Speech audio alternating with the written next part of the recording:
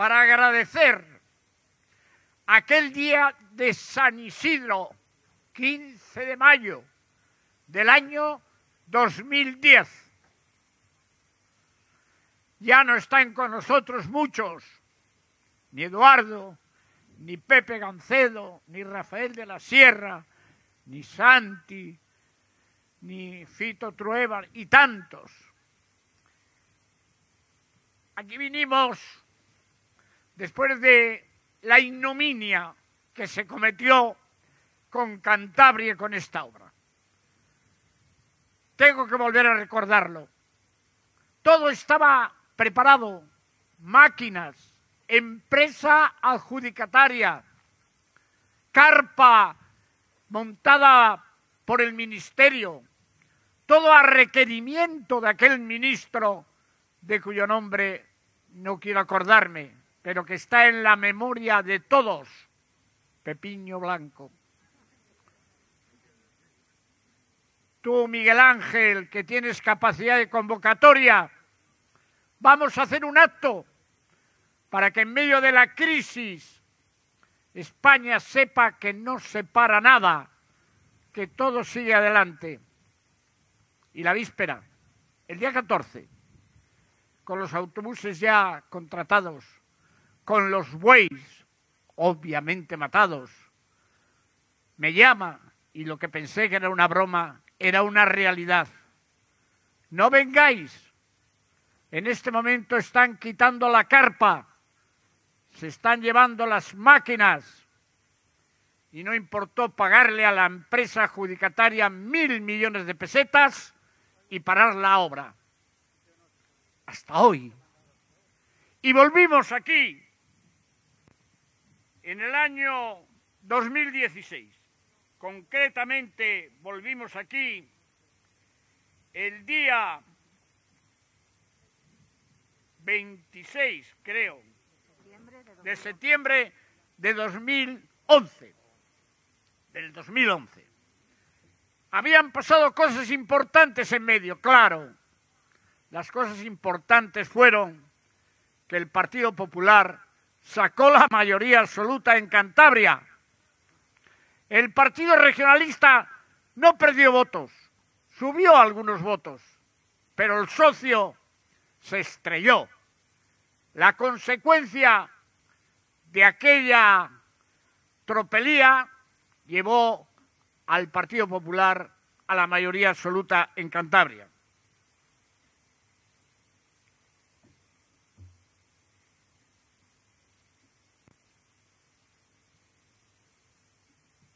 Aquí dije aquel día 25 de septiembre, no 26, 25 de septiembre.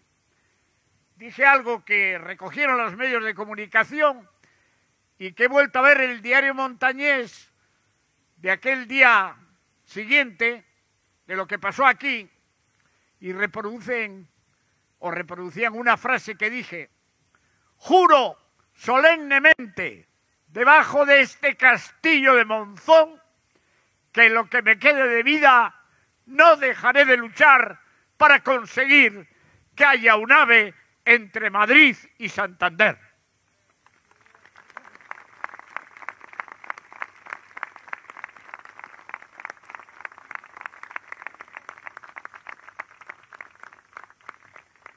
Hoy volvemos a Monzón para lo que ya va a ser irreversible y es lo que será en un tiempo una realidad. Esa obra tan demandada por los cántabros. Yo no sé lo que voy a vivir, ni lo sabemos ninguno, pero probablemente a mí me hayan quitado diez años de vida, porque he tenido pesadillas cuántas visitas a Madrid, cuántos presidentes de gobierno prometiendo siempre lo mismo. Yo haré el ave a Cantabria, todos. Y luego te encontrabas con la cruda realidad. Hasta que el Partido Regionalista ha cogido fuerza. Ahora somos un gran partido, muy importante el primer partido de Cantabria y tenemos poder. le tenemos en Cantabria, pero también tenemos en Madrid. Tenemos un diputado y un senador.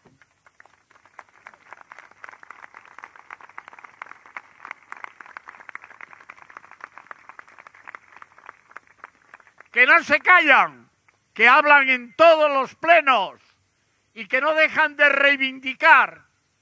Y la fuerza de este partido nos llevó a firmar un documento que con retraso, y que hay que entender ese retraso también porque hemos sufrido un año y medio terrible, donde hemos estado dedicados nada más que a curarnos, a la sanidad.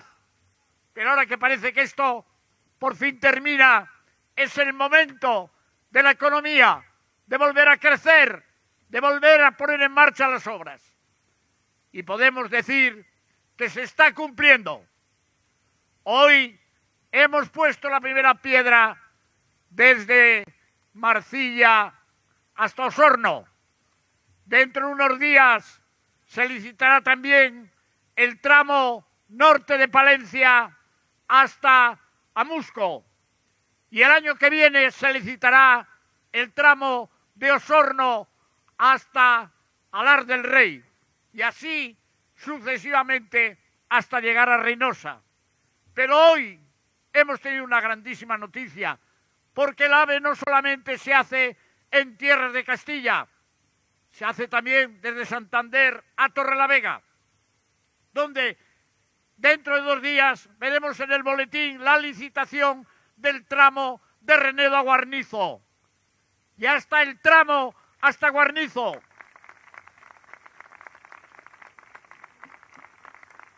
Obra importantísima que pone Santander de Torrelavega en 12 minutos. Y que sirve para los trenes de cercanías, para esos atascos y esas demoras que hay a la entrada de Santander. Es decir, que vamos a tener toda la obra en marcha y una pequeña remodelación, porque no va más el terreno entre Torrelavega y Reynosa, para que hagamos ese viaje en 2.58 y cuando llegue a Lar, que espero que sea en el 24 el viaje ya sea de 3 horas 15, que es un adelanto y hace competitivo al tren con los coches.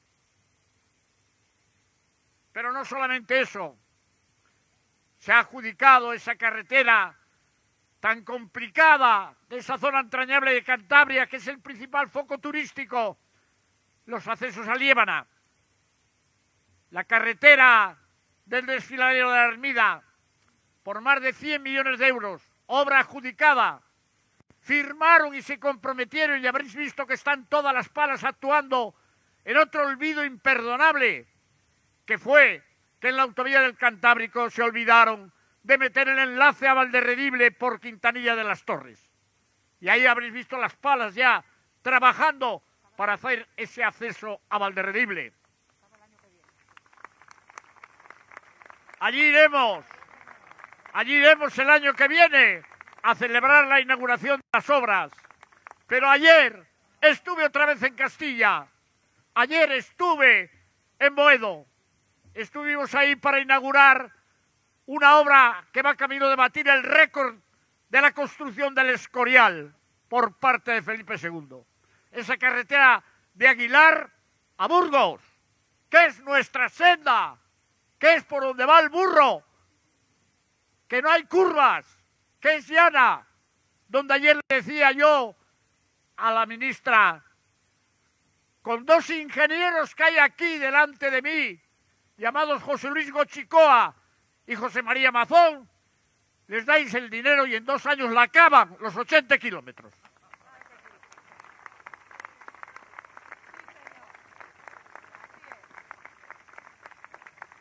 Hemos hecho carreteras hasta Fuente D, a Polaciones, a Soba, esos son carreteras. No llanos como estos que tiran la pala y va a la carretera para adelante. Bueno, poco a poco también estamos sacando esa obra. Reivindicaciones de Cantabria. Hecho en falta la solidaridad de estas obras de Castilla y León. Estamos peleando los regionalistas más por Castilla y León que desde aquí. ¿Qué pasó con la autovía de la meseta? ¿Por qué está hecha? Era la prioridad número 8 de Castilla. Y que vendimos el voto, literalmente vendimos el voto, dándole el gobierno al Partido Popular a cambio de que me firmaran a mí en Madrid aquel documento que obligaba a hacer esta autovía y no de peaje y que se sacó adelante. Ya sé que estas obras benefician a lo mejor más a Cantabria que a Castilla, pero vertebrar los territorios es bueno para todos. ¿O es que los de Aguilar de Campó, que es la zona más pujante de Palencia, con todas esas empresas para llevar las mercancías a Burgos o a Madrid, no necesitan esa autovía en vez de tener que ir por Osorno? Pues ahí están los regionalistas, dando el callo por España, por Cantabria, por Castilla.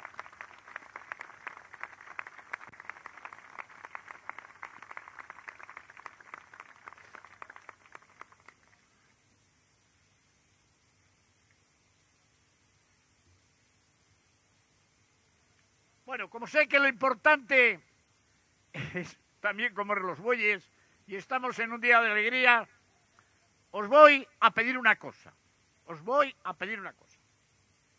Creo, creo, aunque muchas veces me he tenido que comer las palabras, pero yo llevo en esto desde el año 95. He conocido a todos los ministros de fomento, a todos. A Borrell, me acuerdo, Borrell, ministro de fomento, que nos hizo la autovía con Bilbao, muy importante, Borrell, que es ahora el ministro de Asuntos Exteriores de la Unión Europea. Buena persona. Premio Beato de Líbana, que le dimos. He conocido a Arias Salgado, he conocido a Álvarez Casco, Dios mío, a Pepiño Blanco, yo qué sé, a 20, a Ábalos. Hay que recordar a Ábalos. Ábalos es el que firmó con José María Mazón todo lo que ahora se está llevando a cabo. Más allá de que te hayan cesado o no, gracias, José Luis Ábalos. Y firmó el documento de pacto PRC-PSOE con José María Mazón, que está aquí presente.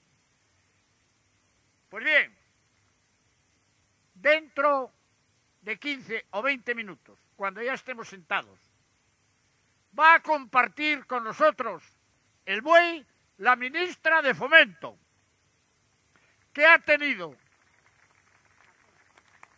Raquel Sánchez, que viene de Cataluña y que era hasta hace poco alcaldesa de Gabá, que ha tenido el buen gusto de decirme, aparte del buey, hombre, libérame de tu meeting porque sé que vas a dar caña a mis compañeros y no me vas a sentar bien. Digo, haces bien en no venir. Estará en un coche ahí oyéndome desde la distancia. Pero cuando ella entre, sí la vamos a dar un aplauso. La vamos a dar un aplauso porque nada más que tomó posesión, me dio la entrevista para que sea una realidad lo que hoy está ocurriendo. Pero es que otra notición importante es que hoy se ha publicado que la conexión ferroviaria de Cantabria, tanto con el tren a Madrid como el tren proyecto que estamos haciendo para el de Bilbao, se van a incluir en el corredor del Atlántico financiado por la Unión Europea.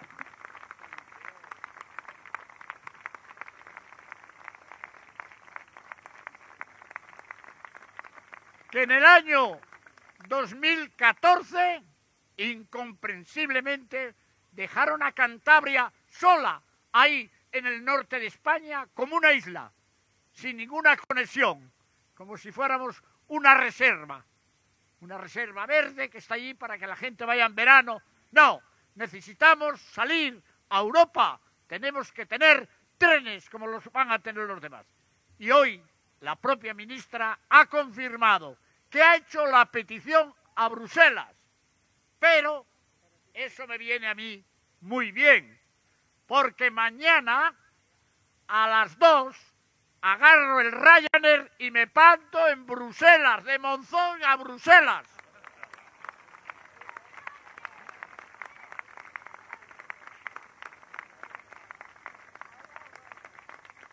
Sé que no voy a estar como el Monzón, lo sé. Y que no voy a comer como el Monzón, también lo sé. Ni voy a tener el cariño que hemos tenido siempre en Monzón. Pero allí vamos a luchar por cosas importantes, para que se apoye la financiación autonómica en función del coste de los servicios, para que se mantenga el sector primario de la economía, nuestros ganaderos, agricultores. Vamos para que nos conecten por ferrocarril con el arco atlántico. Vamos a hablar de los fondos europeos. Voy a estar tres días.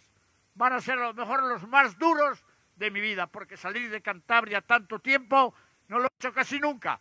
Pero hay que ir a Bruselas, que es donde está el cogollo de las decisiones.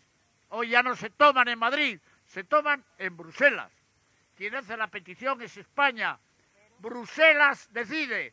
Y allí va a ir el presidente de Cantabria hacerles ver que esta es una región, la nuestra, solidaria, que se siente profundamente europea, profundamente española, que somos una buena gente.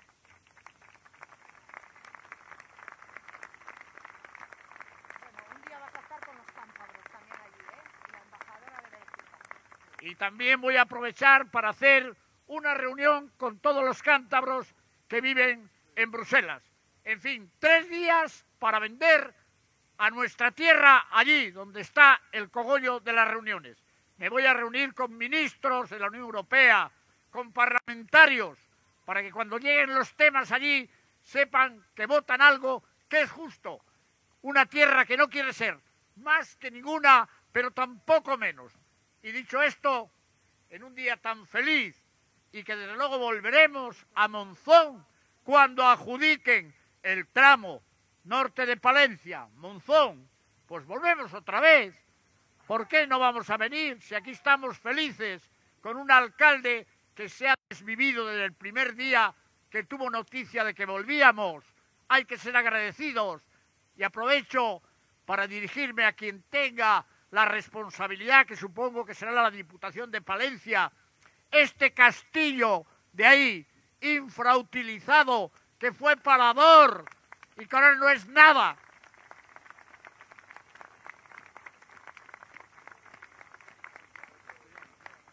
Este castillo que se construyó en el año, año 939, que no éramos ni proyecto ninguno de los que estamos aquí, cuando las gentes del norte, Astures, cántabros, iban conquistando terreno, Ramiro II mandó hacer este castillo para proteger el terreno conquistado. Aquí, en Monzón, en esa joya que debiera de ser un revulsivo para esta zona tan deprimida, pues tendrán mi apoyo. Y naturalmente en el próximo hormiguero que vaya hablaré de Monzón y del castillo.